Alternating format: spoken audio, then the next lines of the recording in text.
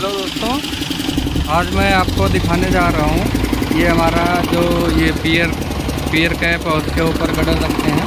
ये गडर है, गडर का देखिए स्टील है, ऐसे ही लगाया जाता है। और इसकी कास्टिंग हो रही है, जैसा कि आप देख रहे हैं। ये टीएम हमारा लगा हुआ है।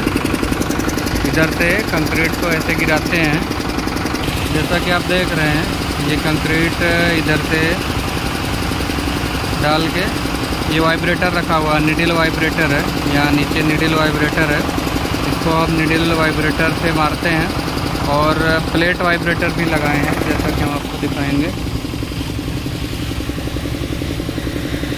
ये नीचे आप देख रहे हैं, ये प्लेट वाइब्रेटर लगा है, हर दो दो मीटर पे दोनों साइड।